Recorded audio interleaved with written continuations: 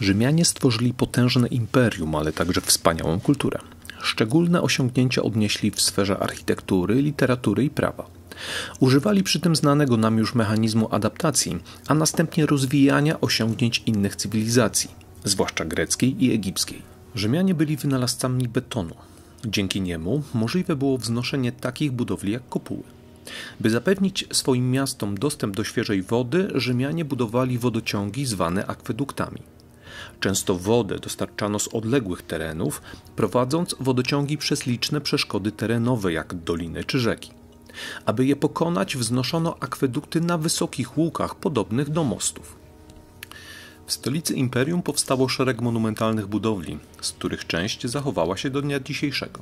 Spośród nich należy wymienić Koloseum, czyli amfiteatr, który mógł pomieścić nawet 50 tysięcy widzów, Panteon, czyli świątynię poświęconą wszystkim bogom, Forum Romanum, czyli centralny plac stolicy.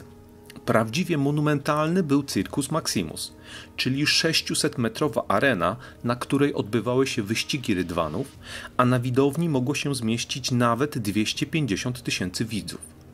Ta budowla jednak nie zachowała się do czasów dzisiejszych.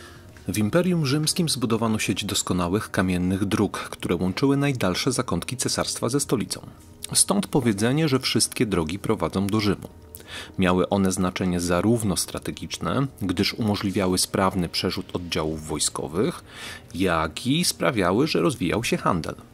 Teren pod budowę drogi najpierw starannie przygotowywano, a następnie warstwami układano kamienie różnej wielkości.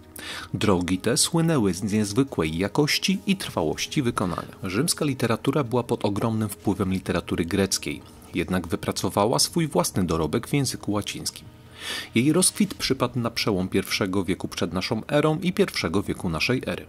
W tym okresie tworzył poeta Wergiliusz, twórca Eneidy, czyli opowieści o losach uciekinierów w stroi, którzy stali się, zgodnie z opowieścią, przodkami założycieli Rzymu. Do najwybitniejszych poetów należał też Horacy, autor szeregu pieśni nazywanych odami, których tematyka była biesiadna, religijna lub okolicznościowa. Rzymianie jako jeden z fundamentów silnego państwa postrzegali prawo. Początkowo funkcjonowało prawo zwyczajowe, jednak w V wieku przed naszą erą powstał najstarszy rzymski spis prawa nazywany prawem dwunastu tablic. Wraz z upływem czasu ilość aktów prawnych oraz miejsc, w których były one zapisane, stawała się ogromna. Dlatego też w VI wieku cesarz wschodniorzymski Justynian I Wielki postanowił zebrać wszystkie przepisy prawne w jednym kodeksie, czyli zbiorze przepisów prawnych. Dokument ten nazwano kodeksem Justiniana.